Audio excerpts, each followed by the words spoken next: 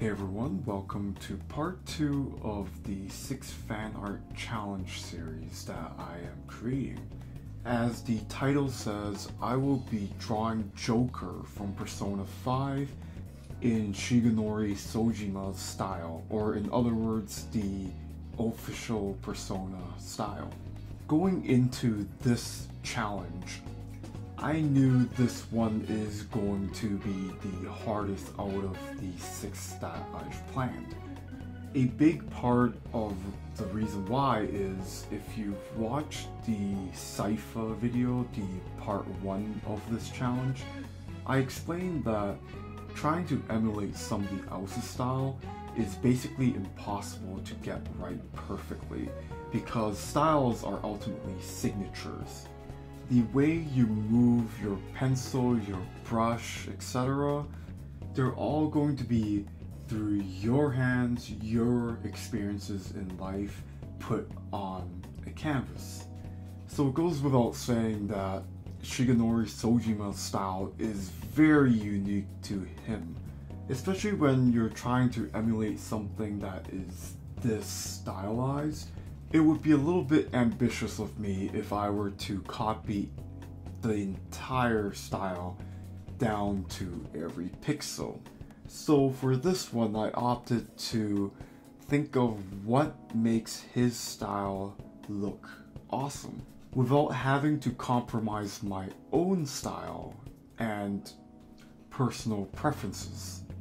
So for this one, I chose to obviously take the three tone compositions that he likes to use for a lot of his pieces. The very saturated backgrounds and also white and black on the subject matter. The way he draws his characters, they tend to be using very thin lines, and I am personally not a fan of that, so I opted to use my way of drawing in this piece. In terms of the proportions, I slightly changed the way he draws Joker and just gave it my own way of drawing anime characters. It would take far too long for me to try to just get everything perfectly proportioned to what Persona characters look. And if I tried, it probably would look a bit wrong and disingenuous. For me, it's more important to capture the essence of his style rather than just getting it pixel by pixel perfect. That's really the main lesson I want to give here.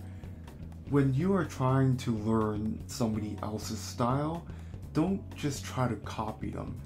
Try to think about what you can do to put your own personal take on something.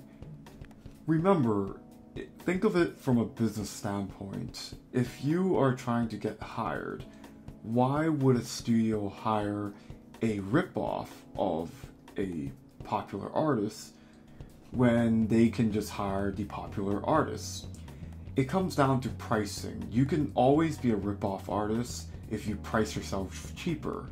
But if you put yourself and create your own style in your work, then nobody can replace you and you become much more valuable.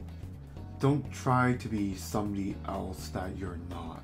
You can be influenced by other people's work, but always think what you want to show to the world. Anyways, hopefully you enjoyed the rest of the video, and I'll see you in part 3.